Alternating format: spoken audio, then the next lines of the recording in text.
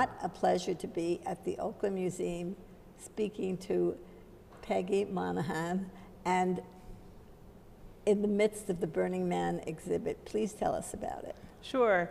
The exhibition is No Spectators, The Art of Burning Man, and it was originally created um, by the curators at the Renwick Gallery of the Smithsonian American Art Museum.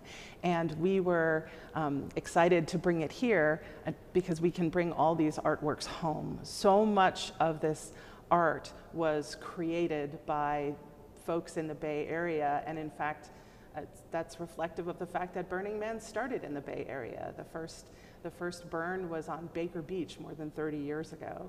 Um, and even though Burning Man is an internationally attended festival um, event, um, uh, the, uh, so many of the participants and so many of the artists are from the Bay Area that um, it was pretty amazing to look down the list and see how, how well the Bay Area art community was represented in this exhibition.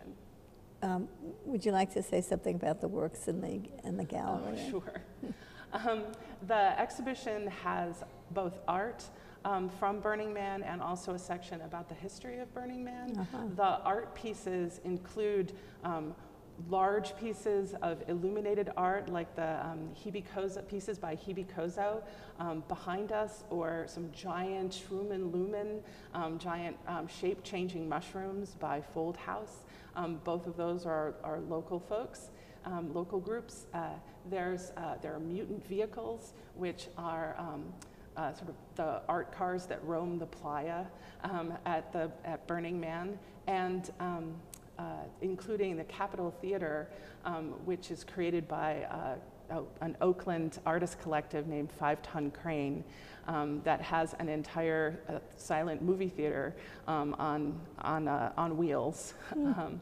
and uh, the paper arch by Michael Garlington and Natalia Bertotti um, that is covered with collaged photography. Oh, wow. Um, and uh, um, that piece is um, so, in, so uh, finely detailed, you could look at it for hours, I think. Yeah. Just, just yeah. even counting the number of uh, owls or eyeballs um, on it. Yeah. Um, there are also um, burning, the outfits that burners wear. Yeah. Um, uh, because part of the art that the Burning Man, that the burners bring to the, to the event is themselves. Yeah. And, um, and also tons of, uh, of jewelry and pendants that uh, artists make to bring as gifts yeah. that they give to each other on, on the playa. This is, I, I came uh, to the press opening and I'm just at a different angle and even just yeah. looking at these pieces yeah. from one way rather than another, it's, it's yeah. I, I mean, I, I, really want to encourage people to come and spend some time yeah. here. Absolutely. I, uh, the name No Spectators is there because um, so much of this art is participatory. In an exhibition, um, in, mostly in the um, museum, we tell you what things you can touch because those things are so are, are rare. Yeah. Um, but in this exhibition, um, you can touch most of it. Oh, that's great. Um, yeah, and uh, there's uh, most of the pieces of the artwork is stuff that you can interact with um, because participation is such, a, um, such an important part of the Burning Man experience. Oh, great. Uh, this program will, go, will be playing the whole month of January. Okay. I, it goes through the month uh, three times a week for the whole month.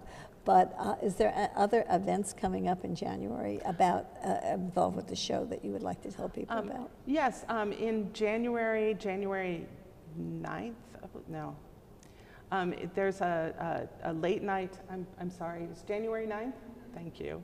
Um, uh, in January 9th, Thursday night, we have a special evening um, where we will be open late and uh, where the, you can come and see the exhibition in the evening um, and even bring your drinks inside the exhibition and socialize while you do so. Wow. Um, and uh, Um, so that, that'll be an important, a, a, fun time to come. Yeah, and to see the pieces lit up at night is yeah. really amazing. You know, one of the pieces that we have um, made specifically for the Oakland Museum is a temple by artist David Best. Mm. Um, the temple is a key part of the Burning Man event. Um, it's burned on the last night of, uh, of, the, of the week, and it's, uh, it's all week long. People visit temp- the temple every year, and um, it's a place of, of, of remembering and memorial um, and uh, deep thoughtfulness. And people leave memories of people and of events for the year.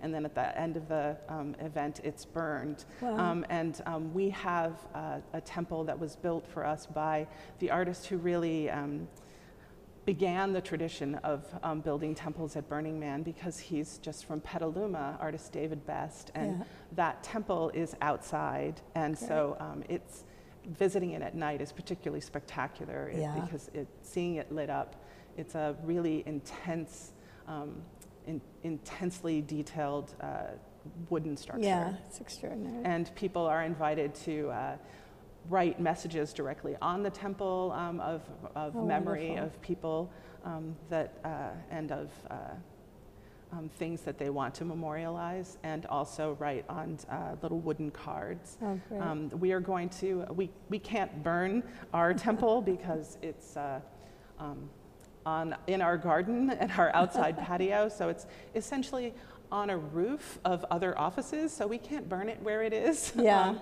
yeah. But instead, what we're going to do is package up the, um, the wooden pieces that people leave um, and uh, the, we're partnering with the Burning Man Project to take those out to the playa and burn them after. Oh, the, great. What's going to happen to the temple? Um, well, it's going to be outside all winter long, oh, so oh, we're, we'll see what happens. so we're not sure, but we're definitely going to honor the thing, the memories that people leave in this. Yeah. Well, thank you so, so much. Oh, I wanted to ask you about upcoming events oh, and things, sorry. but people can people can check it. Just yes. know that when you make a trip to the Oakland Museum, you're going to love the show and yeah. you're going to love what's coming up. Yeah, sure. Um, yes. Yeah. Peggy, it's been a great well, pleasure talking to you. Thank you so much. It's so nice to talk to you. Thanks. Thank you. And, um,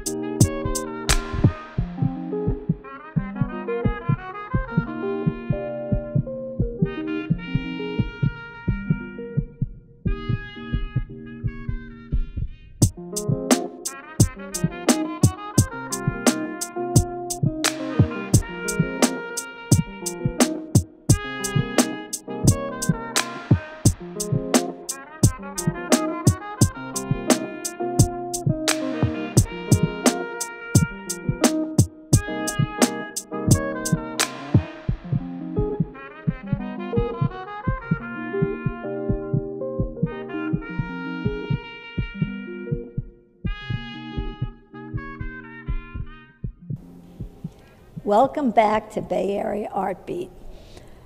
I'm at the Oakland Museum, and one of the artists who has a wonderful piece in the show we're going to see um, is with us. Bree, do you want to say something about yourself quickly?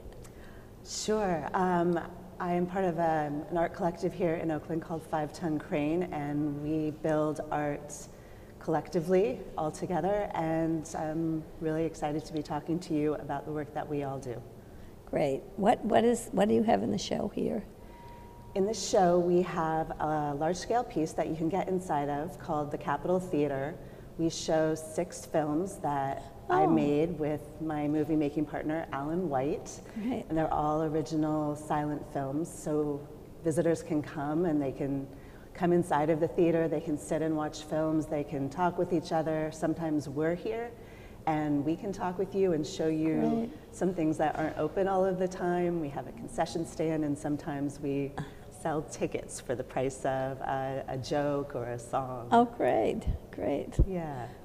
So it's still going with barter and exchange, and uh, not barter, but just gifting. Yeah, just yeah, gifting. Great. And we have these beautiful tickets that uh, Lee on our crew designed for the theater. Yeah. Yeah, have you done, how long have you done Burning, have, you've been doing Burning Man in the desert? Uh, since 2004, that was my first year out there. Great. It's been many of the years, but not all of them. Yeah, yeah, and like, that- is, does the collective go there and do the work, or you mainly do the work? We've done a number of projects together. Um, Five Ton Crane has brought, um, I think, uh, four, maybe four large scale pieces out there. And then people on our crew do projects on their own or with other crews also. So it's not, you know, being part of Five Ton Crane is not exclusive. You can go and work on other projects Ah, outside while- of while Five you're Ton there. Crane. Or, you know, here in the Bay Area and then Oh, bring it out there. I've worked on projects with other friends and other crews also. Oh, good, so what Yes. other things have you worked on? The first piece that I did out there was called the Moonshine Saloon. It was Ah. a 15 by 20 foot battery powered Wild West saloon Oh. on wheels. So we drove it around and um, it had a few steps up to the you know swinging saloon doors with Oh. the longhorn over it. And uh, we just built it, a group of friends. It was, you know, we scraped together what we could. And what we found was that it was so much fun to bring, you know, for people to come on board and then, Yes. and then, then they're in our drama in a sense. And we all found our own roles in it without, without discussing it. We just had an, an alter ego. And, and it was like a theater in a sense. And if you came on board, you were in the show. Oh, that's great. And that was, and that experience, we took it out for three years. That experience is the inspiration for the Capitol Theater. I To see. bring people on board and, and create this space for them to play. Oh, And wonderful. to be in this, this alternative world, in Yeah. a sense. So you did the saloon for three years, and then you did the theater. With a long, with many, many years in between. Uh, we Yeah. built the, we built the, the Wild West Saloon in 2005. Yeah. So we took it out 2005, 6, and 7. Yeah. And then we built this, uh, we finished it in 2018. Great, So a lot of time in between. Is there anything else you're doing besides Burning Man, or is that the main thing, your main uh, art expression?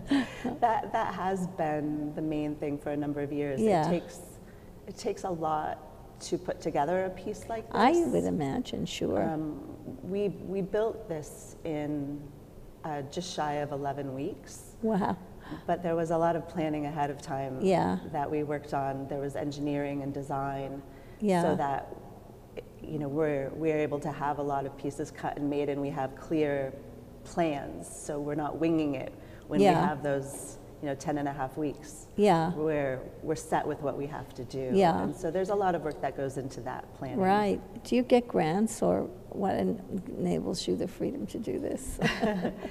We've been extremely fortunate and are thankful to a number of, of people who have supported this work for us. Yeah, that's, Yeah. that, it's so great. It's the way it should be. It is. Um, What are your future plans? Uh, that's a good question. You've been asking yourself that, right? Definitely. Um, we'll see what happens. Yeah, there's a lot. There's, there's a couple coals in the fire right now, but we'll see what actually happens. Yeah, you spend the entire week out there Burning Man yourself, at the, in the desert, or, For the, for the years that we bring a project out there, I'm usually out there for at least two weeks. yeah, because you need to come and set up and then there's the week of the event and then you have to stay and take it all down and pack it all up and take it away. So Yeah. um, that's at least two weeks with a large scale project. It, it takes about a week to set these up. Some some people have projects that take longer but yeah, um, that's that's about how long we've we've taken. Al- although with an art car it takes less time. It's taken less time for us because it's been closer to finished. There's less setup to do Oh, when I- we arrive. You do an art car? The Moonshine Saloon was an art car. Oh, Uh, the oh. Nautilus Submarine by Five Ton Crane was also an art car, and Oh, I've been a part of several other art cars. Oh, great. Is this, is this a, um, an art car? So this is an art car in a sense. Um, because of the weight restrictions on the floor in the Smithsonian at the Renwick, Ah, we couldn't put a drive system in it. it. The floor couldn't have held that weight. We were pretty much maxed out on, on weight there. Yeah. Uh, it is a hope that at some day, some point, we will be able to make it drive, Yeah. but What was it like know. working at the Smithsonian? I mean, to me, that's whew. It was terrific. Uh, Yeah. We also, you know, the Renwick is an old building and Yeah. there is no freight elevator. There's, there's only one way to load in, and that's through the front door. so we went and measured the width of, of all of the doorways that we had to pass to get our piece Yeah. into the room we were in, and we built this to fit that space. Very smart, very clever. Thank you so much. It's been such a pleasure speaking to you and um, really going back to the, the theater with deeper knowledge of what you do. Um, Thank you so much. It's been really nice talking with you. we'll be back with our next guest shortly and put this on your list of things to do.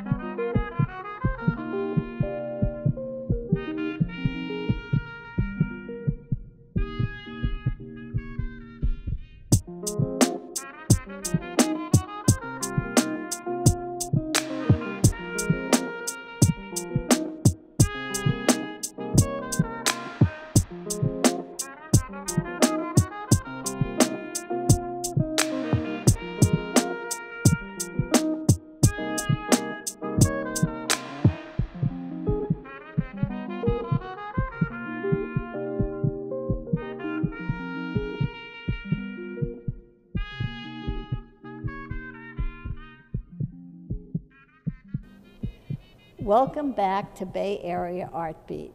Our next guest, Rachel McCrafty, uh, has, a, well, Rachel, tell us about what you have in the show.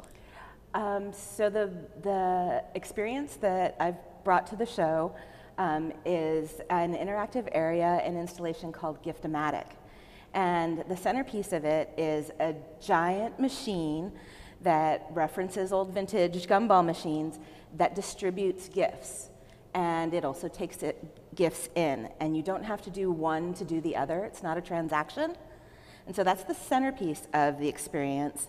And then there's also an area that has um, opportunities for guests to actually do hands on activities and express themselves and give gifts. So you get to receive, you get to give. And then the third part of that area is an area called the Give Yourself the Gift of Chill Lounge. And you literally get to gift yourself a moment to take some time aside, have a moment of chill, and just absorb what has been probably a really intense experience because this exhibit is just wow. um, so that's the Giftomatic experience. Oh, great. Talk about the idea of gifting at the um, at Burning Man. I mean, it's a basic principle of Burning Man, right?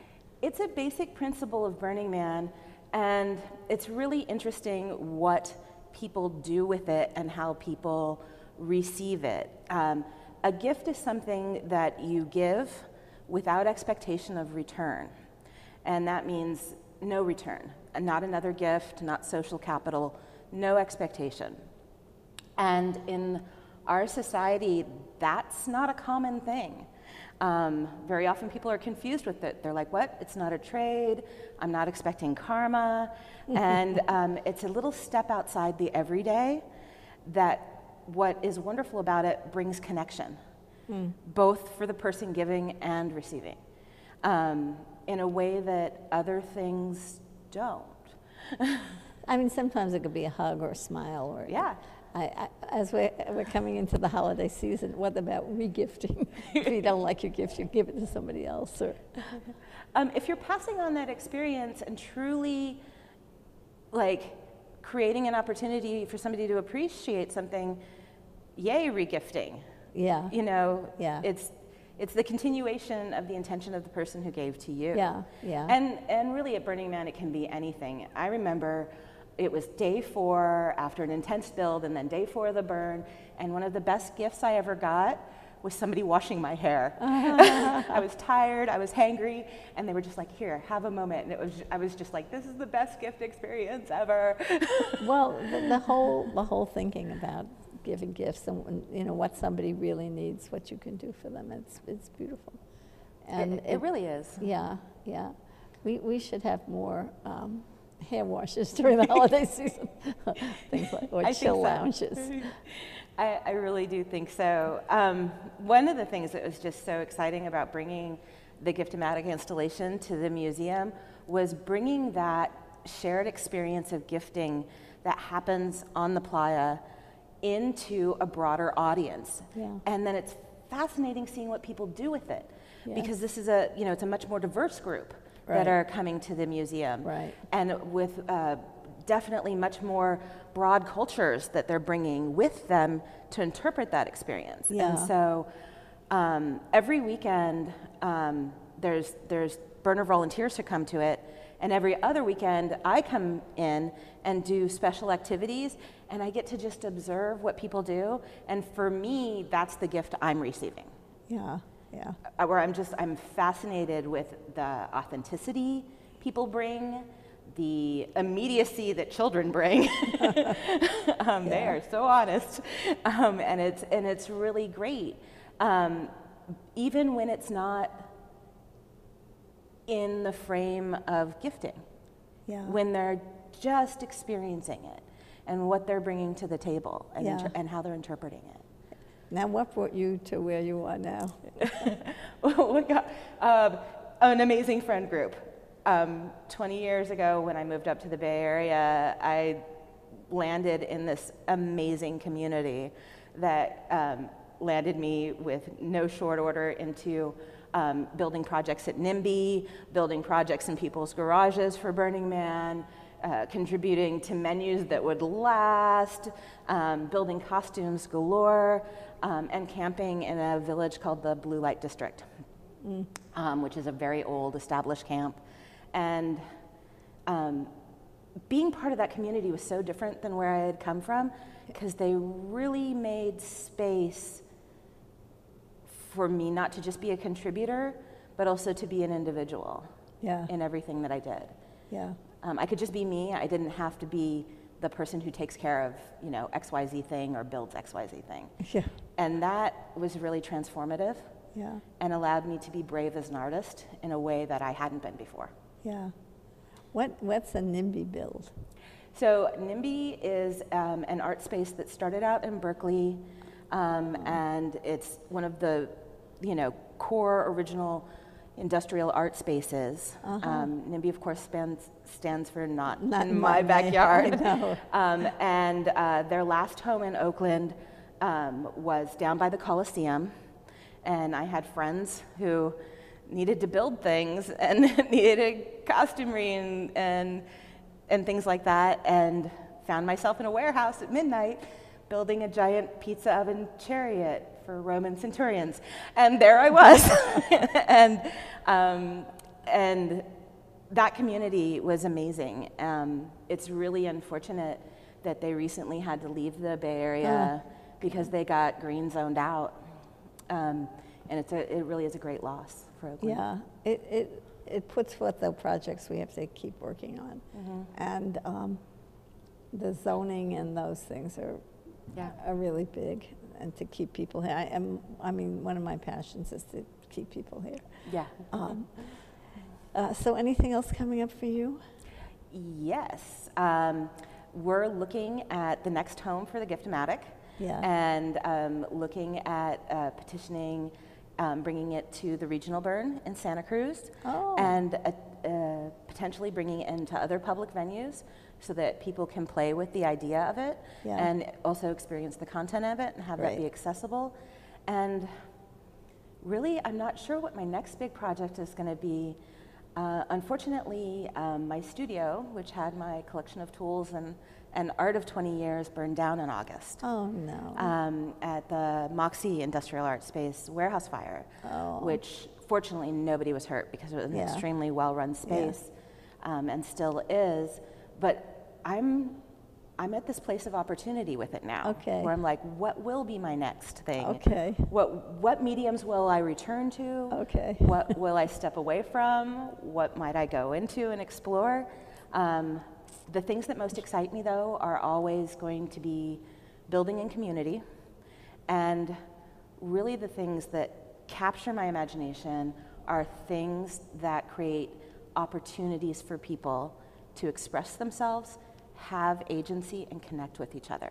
Rachel, thank you. Absolutely. Really, good luck with, with whatever it is. I'm sure it's going to be exciting. Thank you yeah, so I'm much. excited. yeah, I can see that. no, it'll be great. Um, so, thank you so much. Uh, we'll be back next month. And in the meantime, come and see this incredible show at the Oakland Museum and stay amazed. So, um,